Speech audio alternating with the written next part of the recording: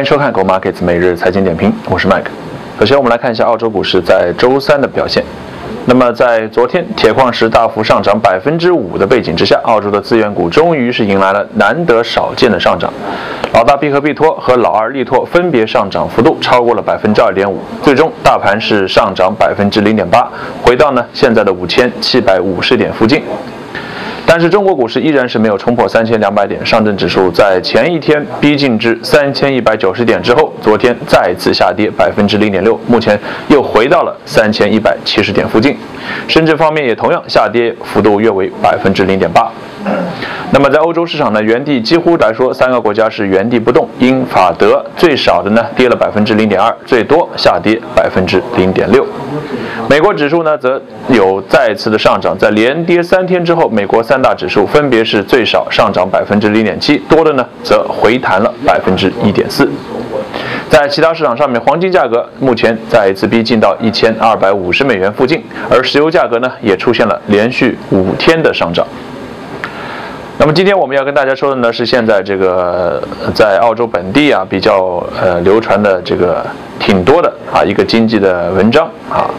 就是说澳洲可能未来呢也是要两年加八次利息，但是在我看来，这篇文章纯属是骗死人不偿命啊。我们知道，在本本周以来呢，呃，西方国家的很多银行行长都出来说话啊，特别是像昨天晚上呢，包括了欧洲央行啊，这个英国央行、加拿大央行和日本央行四个行长呢，啊，在同一时间发表了讲话啊。那我估计他们呢，估计是之前凑了一桌打麻将啊，之后呢，统一口径之后和媒体说道啊。那么除了日本央行之外，其他三个地区的或者国家的央行分别表态呢？呃，他们一一个统一的主题就是，现在他们的这些国家或者地区经济在好转，物价在回升啊。那也就是说，现在有可能开始要考虑必要的逐步退出目前的经济刺激啊。换句话说，就是现在，比如说像欧洲央行还在印钱，可能会放缓、放慢。减少，最终暂停，像英国一样啊。现在呢，呃，目前之前由加降息变为不动，甚至现在呢要重新开始考虑加息啊。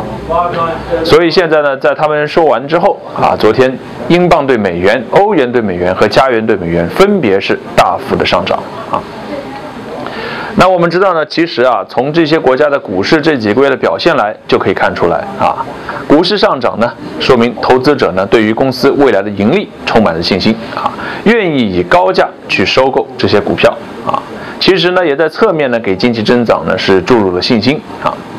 那我们都知道，经济不好，你这银行会降息啊，甚至于会印钱啊。那如果经济好转的时候呢，自然政策就开始反转，原来降息的会升息。原来印钱的，现在会从市场上把钱拿回去啊。那么这也是我在本年本人呢，在今年年初就提出的看好英镑以及看好欧元的主要原因啊。我们都知道呢，这个看东西啊，大方向一定要看对。如果你大方向看对了，那无非就是呢赚多或者是赚少的问题。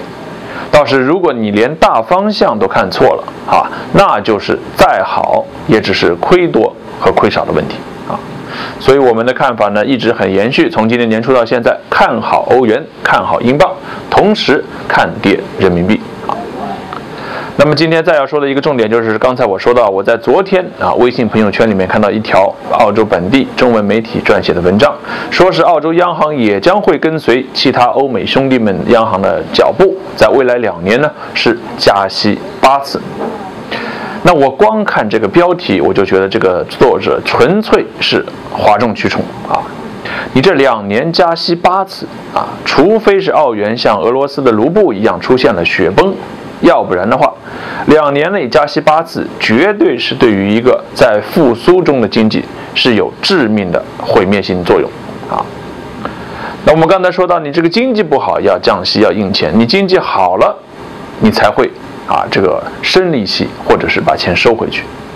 那么现在澳洲的经济是好吗？在我看来，一点儿都不是。啊，仅仅在一个月之前，我们知道澳洲上一季度 GDP 数字公布出来，仅仅是上涨了百分之零点三，距离衰退只有啊半步之遥。你在这样的情况下，居然说澳洲央行会在未来两年之内加息八次，你是欺负我们的智商呢，还是觉得自己很牛逼，能够独树一帜啊？所以说，在我看来，就连美国2015年和2016年经济恢复之后，每一年也仅仅是加了一次利息，到了今年才可能加息三次。你说澳洲从接近于衰退，立马两年加息八次啊，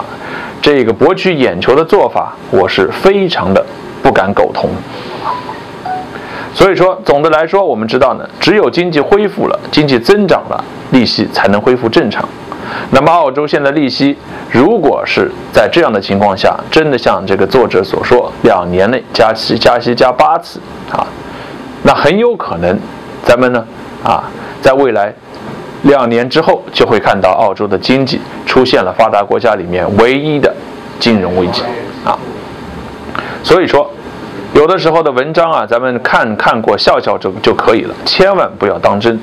如果连这个澳洲在目前经济衰退的时候，或者接近于衰退，又是两年加息八次这种标题啊，咱们还是说这种标题是属于骗死人不偿命啊。接着我们来看一下今天的这个产品，今天说的跟昨天一样，是说的是美国石油啊。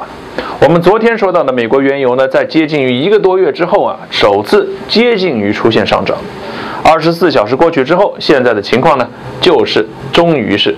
出现了一个明显的上涨。